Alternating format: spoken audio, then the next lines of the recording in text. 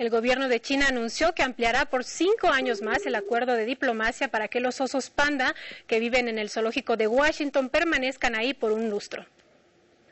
Esta decisión común tomada por ambos países comenzó en el año 2000, cuando China prestó una pareja de pandas por 10 millones de dólares por el mismo número de años. El dinero pagado por el gobierno de Estados Unidos se destinó a la investigación y a la conservación del panda gigante. Queremos que los pandas Mei Xiang y Tian Tian sigan viviendo felizmente en el zoológico de Washington, que pronto sean capaces de dar a luz a otro cachorro. Por eso decidimos ampliar el acuerdo cinco años más. La famosa pareja de pandas ya lograron reproducirse en cautiverio.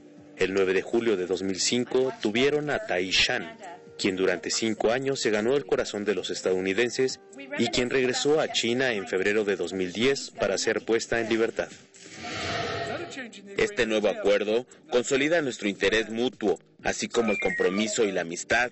Es uno de los mejores ejemplos de cómo existen países con intereses afines que pueden trabajar en la conservación de estos animales. Es muy difícil que los osos panda puedan reproducirse tanto en su hábitat como en cautiverio, debido a que las hembras ovulan solo una vez al año y además el periodo en el que pueden quedar embarazadas es de dos o tres días. TVCN, Lucio García.